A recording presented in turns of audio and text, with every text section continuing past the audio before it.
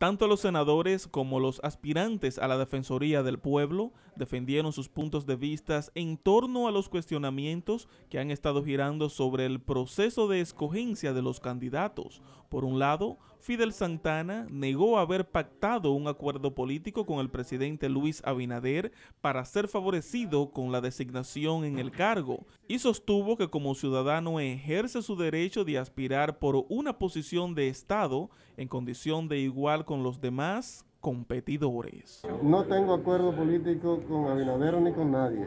Soy un ciudadano que está ejerciendo el derecho a aspirar a una posición de Estado para seguir sirviéndole al país. Tengo una historia de servicio desde el movimiento social, la tuve en el Congreso de la República, siempre eh, defendiendo los intereses eh, colectivos del país.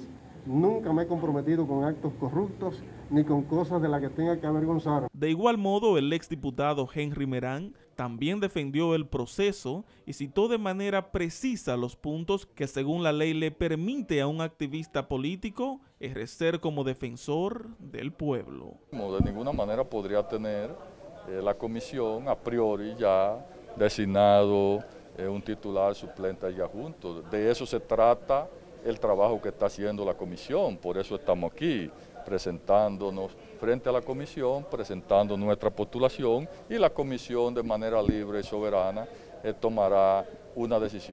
El último en ser entrevistado fue Pablo Ulloa Castillo, quien a diferencia de los demás candidatos dijo no tener vínculos con ninguna organización política, razón por la que según él debería darle ventaja sobre los demás contendores. Yo me aboqué en un proceso, como ustedes saben, competitivo y transparente, en el cual obtuve 97.44, cumplo fielmente con la ley, incluso de las cosas que entregué fue mi certificación de la Junta Central Electoral, de que no participo en ningún partido político y que no aparezco en ningún tipo de padrón.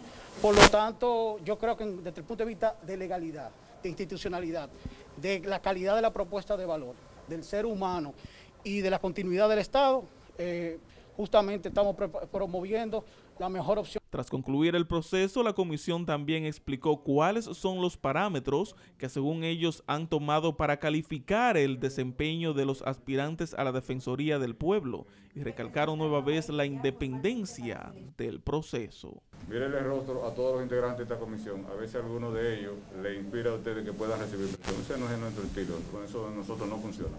Nosotros estamos trabajando libremente como comisión y vamos a terminar haciendo nuestro trabajo tal y como nos manda la Constitución. Santiago Druchard, Informativos Teleantillas.